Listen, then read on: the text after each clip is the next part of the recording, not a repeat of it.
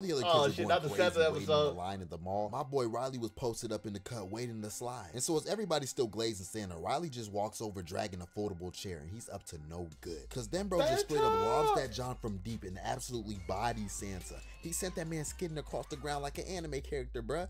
And watching this bag, I don't even know how the chair changed trajectory like this to hit, bro.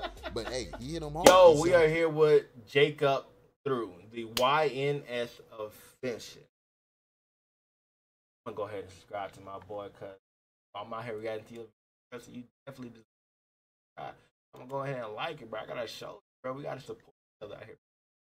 All right. Anyway, bro, YNS of fiction, bro. You know this is insane. You feel me? Insane, bro. You already see Mr. Incredible. Look at the face on his face. Look at his face, bro. This is finna be it gonna be nice. All right.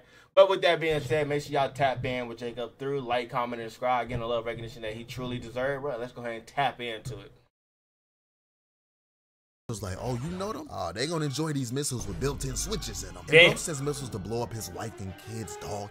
For no reason. Oh, Now, yeah. I don't know if y'all just been because seeing, but the term YN has been going crazy on social media. And Yeah. you know, it literally means young. But yeah, now it's just used to describe anybody who's in thug or shiesty activity. Now, last video talked about the YNs of anime, but now I think it's time we talk about some of the YNs of fiction in general. And I Bro got said, why of anime, bro? You're talking my language, bro. you're talking to me nice. Alright? I'm gonna go pull up on that video too, bro. Cause it has anime involved, you know your brother loves that. Some characters we're gonna put on trial, and I got scenes to talk about. And then after that, we're gonna rank them from bronze to Hall of Fame YN Alright. badge. You know, since I'm holding off on the YNs of anime part two, I'll briefly talk about a YN that transcends anime and American shows, and that would be the one and only Broly. Now, at this Oh point, I my, think everybody in their yes. mama knows who Broly is, because this man's men's activity throughout the years was something vicious. He's the final boss Vicious. of Young, I don't care. Now, if you don't know Broly's origin story, the whole reason he's a menace is because this man Goku was crying and annoying him while he was a baby, bruh. And- Oh, hold hold up, hold up. He was crying and annoying him, and he heard the other people talking about, damn, you got a power level of 10,000 though, but look at this boy over here screaming top of lung, got you crying like a baby. And that shit tipped him off. And at that moment, he know, I'm to kill Kakarot no matter what, bro. That's how it would happen, bro. And he was just born a natural tweaker. He not all that there in the head, y'all. But boy, was he moving crazy in this first movie, gang. Like his own pops knew he was a legendary YN. He gave bro a crown to suppress his shystiness and everything. But of course, it ain't work on our boy bro. Cause after he broke out this mind control, the fade he was handing out the whole Saiyan lineage Bruh. was something different, bro. Like he was hitting him with every DBZ violation in the book. Face palms, clotheslines, stomping and jumping on people. Oh, what about that kick? This, bruh? It was really just wrestling. Yo, look at Goku. Look at this face, bro. I hate hated I stopped on that face, bro. Look at that real blood back when Dragon Ball Z was the face. I'm playing. It's still good. It's still good. But you imagine, bro, someone built 300 pounds straight muscle, six nine heaven ass, bro, jumping on your ab, bro, like a damn trampoline, bro, diving you deeper and deeper into the damn ground, bro. That's the type of man Broly was, bro. Broly was a menace, bro. What you mean? He clotheslined Trunks and Gohan and decided to use Piccolo as a goddamn soccer ball, bro. My boy Piccolo like that, bro. And he had Vegeta punk ass scared, bro. Vegeta like, oh, bro, it's a legendary Super Saiyan, bro. I don't think we should fight him, bro. You the prince of all Saiyan, bro. Show you who. Uh, my bad. Yeah, got me heated. Show him who you are and why you are the prince of all Saiyan, bro. Over there looking all pussy and scared and shit. WrestleMania oh, with I was mad dude. as hell, And just like every other YN, that's what made Broly so dangerous. He had nothing to lose. Like I And knew it was over his when dad, I seen he had a switch on his ki blast, bro. And don't get me started on that second movie, because right out the gate, bro was looking for smoke, and he decided to whoop on Been Mike there? because he Oh. said those hands were E for everyone. But yeah, luckily Goten and Trunks put up to save him from the abuse, but he started aggroing on them anyway, and he was beating Yeah, on he these was just little like kids, Kakarot. though. Come And when Gohan whooping. pulled up to help them, he started beating on Gohan too. It was a never-ending cycle. Like bro really had it. I'll be honest with you though. I would love to seen more of the Gohan versus the Broly fight, bro. And watching Broly turn to, you know, the, legendary form, and then you saw Gohan go Super Saiyan 2, bro. I still felt like Gohan probably should have won that. Like Super Saiyan 2 should have been on an equal level than freaking than the Broly, bro. Because if you paid attention to the movie, I know I'm yapping. I'm yapping, but let me yap. Let me talk, all right? I'm speaking fast. You feel me? Now, Goku beat Broly by getting Piccolo, Vegeta, Gohan, Trunks power all at the same time. All right? Bullshit. You feel me? Bullshit. All right? At that time, I feel like Cell is stronger than Broly. Just saying. Broly gets stronger as he grows. Right? The more, the longer he stays alive, the angrier he gets. Y'all, he's like the Hulk. He grows stronger. You feel me? All right. They showed a little scene if he was carved in ice and just powering up. All right. But at the time, Super Saiyan 2 Gohan should have been stronger than Broly, bro. That's animosity and hatred flowing through his veins, bro. And I'm gonna leave it there because I might have a whole video for Broly. Hall of Fame Let's. YN badge, of course. Moving oh, on. easily. Now, if we're talking in terms of a real YN, it's only right I mentioned Franklin Saint. And for those who haven't watched the show Snowfall, Franklin Saint was this young black kid Franklin Saint wasn't always a YN though, bruh. Alright, he turned that way, bro. And if you haven't seen Snowfall, I'm gonna let you know now you are missing out. My boy, I forgot his, his original name, bro. but he played the hell out of this game, bruh. And through that shit developing every season, bro, the more and more I liked Franklin, bruh. who Alright. ended up getting involved in selling cocaine, and he became this kingpin drug lord, killer dude. You know what I'm saying? He Bro was about not playing. But you know me, I like to get demonstrations. So let's talk about this first scene. So for some context, one of Franklin's crack houses was kind of moving slow on business, so he went to check it out himself. And can we just appreciate how smooth he walked into this building? I might be glazing. I'm not gonna lie. And now when Franklin gets in the house, I like the part, but I like the part, bro. He banged on the door. They're like, "Yo, you think he the police, bro?" He said, "You know who I am?" And bro just bust right through. Bro, what you mean? Basically bossing everybody around. And on top of that, he was cooking what they had going on. Well, not cooking, but he was roasting everything. He was basically like, hey man, y'all cooking that weak stuff in here. Ain't nobody getting no high off of none of this. Cause remember, they were cooking cocaine. But yeah, that's besides the point. And so eventually somebody was like, who invited this? And one of the dudes explained that he was sent from a higher up or whatever. But we know where this is Franklin Saint. And apparently the dude running the crack house did also. Cause he was like, hey man, you not gonna walk in here cooking my cooking. I don't care if you was the king of the young. And yeah, this seemingly ended up sparking something within Franklin Saint because this man just did. I'm just, I'm just gonna play. The Franklin was a, I mean, he he became a fucking menace, bro. He became a fucking menace. And you know, I feel like this was a tad bit extreme. I feel like, uh, don't talk to me like that. Let's do better next time would have sufficed. But then again, I'm not the king YN. And yeah, then Franklin proceeded to crash out and yell at everybody, basically scaring everybody out the crib. But hey, all I know is if I got done like that, I'm grabbing a switch, dropping a diss track, something. But yeah, I don't Hey, but you can do all you want, but there's nothing you could have done, bro. Hey, if y'all see what I'm, if you see what I'm talking about, that scene when him and his boy were going to pull up on the Hispanic, bro, because of what they did, and bro knocked on the door. They said, y'all better get this shit fucking worked out right fucking now. Get y'all asses up. So, it was similar to that, bro. Alright, he talked to shit, bro. Ah, but what was that other fucking scene? It was, uh, it was, uh, hold up. He was talking to freaking, uh, he, he called him Yo Yo. Uh, I forgot his name, bro. He called him, you forgot his name. He called him Yo Yo, though. Called him Yo Yo, bro. He said, "You don't not stop me from doing what I got to do to get my money, bro."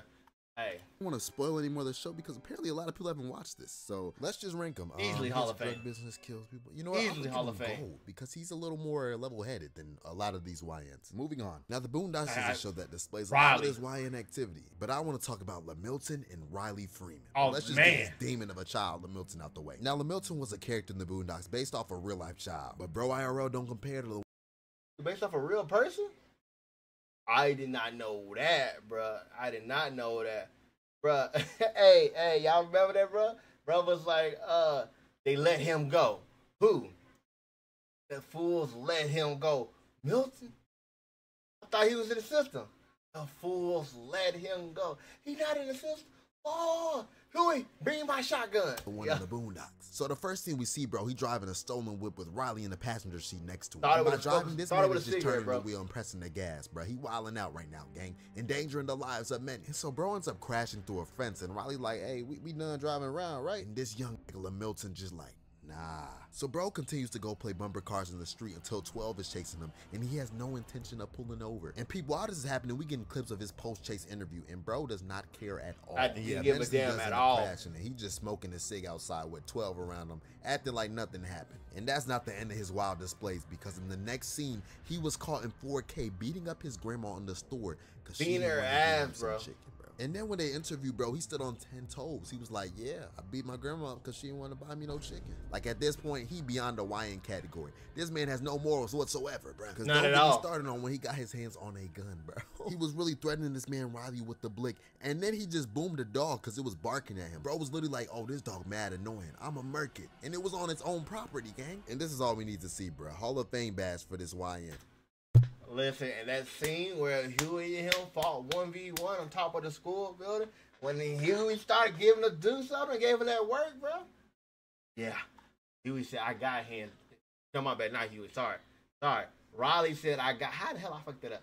Riley said, I got the hands, yo. I gotta fight my older brother every day, bro. What you mean? You light His, work. his potential is really limitless. And moving on to Riley Freeman, I want to talk about the Santa incident. Now, as crazy as it sounds, Santa was one of Riley's ops. And so while all the other oh, kids Oh, were shit, going crazy Santa waiting in the line at the mall, my boy Riley was posted up in the cut waiting to slide. And so as everybody's still glazing Santa, Riley just walks over dragging a foldable chair, and he's up to no good. Cause then bro just straight up lobs that John from deep and absolutely bodies Santa. He sent that man skidding across the ground like an anime character, bruh.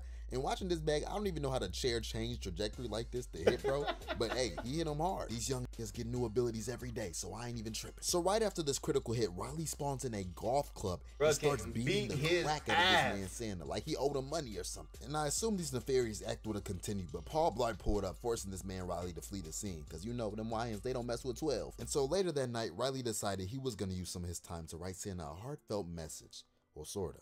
Dear Santa, you are a bitch ass nigga. You know, at least he's riding, doing something productive. And speaking of productive, if you watching this video and still haven't subscribed, what are you doing? It's easy.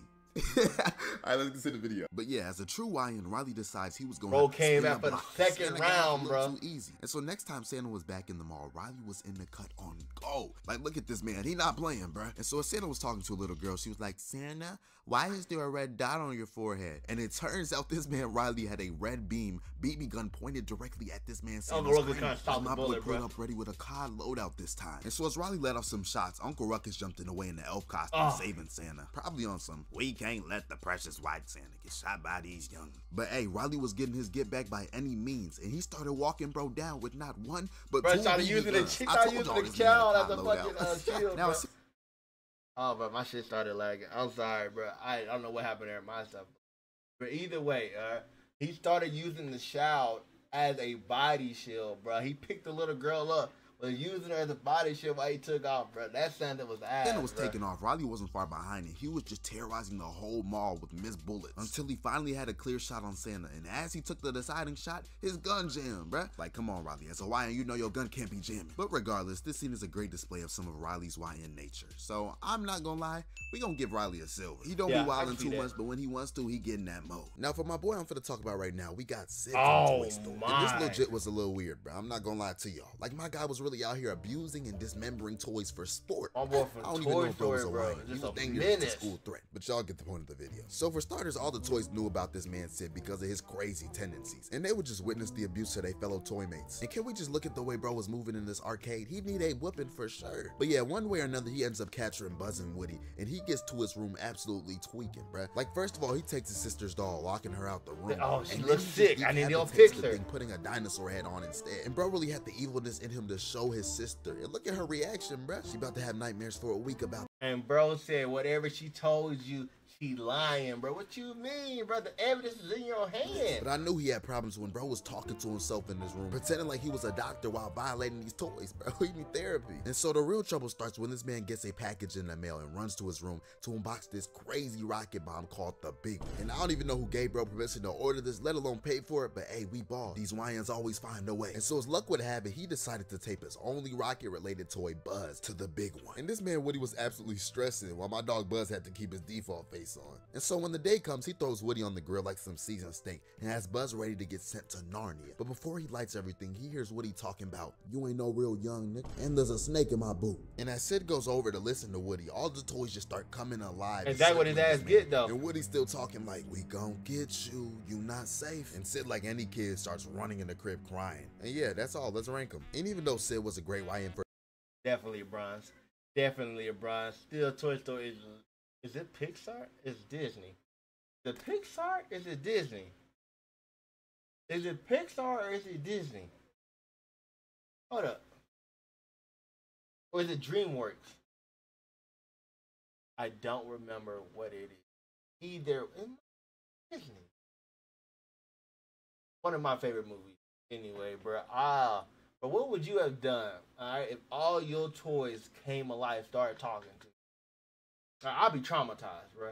I'll be traumatized. I'll be honest with you. You know, I treated my toys nicely, but not all the time, bro. All right, some of them definitely got done dirty, bro. Some of them got thrown to the sky. A couple of them lost their heads and their arms, bro. And they came back and got me, bro. Can't be mad at it though. It was payback.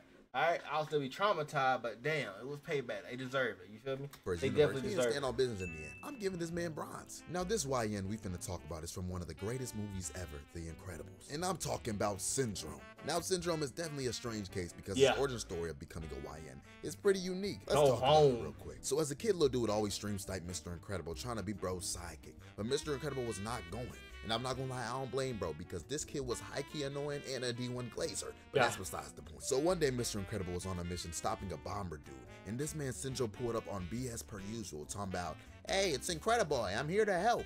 And Mr. Incredible, per usual, was like, "I work alone, buddy, not right now." So Incrediboy decided he was gonna be of use and go get the police. But as he was running off, the bomber put a stinky bomb on little bro. And rewatching this, he was really about to murk this little kid. And like an really was. Now you think out the about it. and Mr. Incredible grabs onto bro, trying to get the bomb off him to save him. And when he finally gets it off, it explodes these train tracks below, leading to some other problems. But of course, Mr. Incredible clutched up. Although That after he time. Syndrome with the police, and now it's his biggest mistake, because these YNs don't mess with 12. And this probably triggered his YN genes, leading him to commit the acts we about to talk about. Now on to older Syndrome, bro really decided he was going to eradicate all Showing all heroes, powers. And he really wanted his get back with Mr. Incredible. And so the first thing he pulled up on Mr. Incredible, he was on hots. He was like, hey, it's me, your biggest fan. And when Mr. Incredible was like, buddy, he just spazzed and threw him around like a rag doll. And he continued to whoop on Mr. Incredible while talking. Yeah, he gave him that until whoop. he I ain't gonna lie, he ended up work throwing on him. too far, which allowed Mr. Incredible to escape and jump off this cliff into some water. And so Syndrome being a certified YN, he had to finish the job and was like, oh, I got something for you. And drops a seemingly little bomb into the water with them. But after seeing this explosion, we find out this was a literal murder attempt. Like he was trying to leave no remains, gang. This is how he was moving in the kids. True, bro was trying to kill him. Transverse all media. Now, one way or another, he catches Mr. Incredible and has bro hanging up in his little lair. And he starts questioning Mr. Incredible about who he sent on a plane to come save him.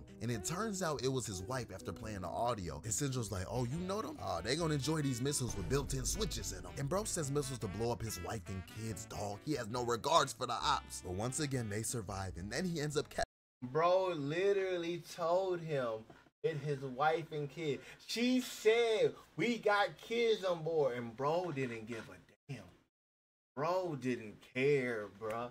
Alright, bro already stacking up numbers, bro, killing heroes after heroes after hero. Bro said, "What a couple little kids and a wife gonna do, bro? I'm gonna keep stacking them up, bro. Like, damn, bro. Alright, then all he did was told you, bro. He didn't want no sidekick. He saved your life, bro. All right, this what you gonna do? All right, this is how you gonna turn to him? You try to kill his wife and kids, bro? You gonna kill all these other heroes just because you wasn't a real hero? I didn't like this guy. I didn't like his ass at all. Capturing the whole family after this. Bro was moving crazy. But the craziest act of menace activity gotta be his last scene. And so the Incredible family was on their way back after the last battle, and they got a voicemail from the babysitter tweaking out. But finally she was like, thank y'all for the replacement sitter y'all sent. And the last girl was like, we ain't sent no replacement sitter. And as they walked in the crib, Syndrome just froze, over at them, holding the baby like, shh, the baby's trying to sleep. Like, gang, this is wild. And so bro decided his final act of YN nature was to kidnap this child and raise him himself or something. But that as baby turned on his ass. But attempting this is still insane. And low key, I gotta give Syndrome gold YN badge, bro. He was she was tweaking out this that. whole movie. I can see that. All right, but Baby Jack Jack gave him that work, bro. And in the beginning of the movie, bro, Mr. Incredible said he wanted a cape. And whatever her name is, she told you what happens to Hero with the cape. And she was foreshadowing that shit, bro. She foreshadowed the hell out of it. And what happened to him? I just had killed. Hey, that's gonna wrap it up for this video. I hope y'all enjoyed for real. If you haven't followed my Instagram already, go ahead and follow that. We about to hit a thousand, but nobody really cares. But um, subscribe if you haven't. Through Crew 5L. God bless y'all. And we out. Oh shit. W video, John. Oh, we walk in the line as he in the line. That fellowship with one another. Oh, Jesus. Oh shit. Man. Bro, amazing video. Name again, bro. Alright, not disrespectful. Jacob through, bro. Hey, I'm so glad I subscribed. I'm so glad I liked the video. W video, bro. I'm definitely gonna have to watch your YNS of anime, bro, because you know me, I'm definitely an anime person. I love it. All right, I would love to see your full video on Broly, bro. Let you know now. If you do that, let me know, bro. I'm ready for that ASAP, bro. ASAP. And me and you, we can talk about some Broly all day, every day. Till then, bro, make sure y'all tap in with him, like, comment, and subscribe, give him the love recognition that he truly deserves.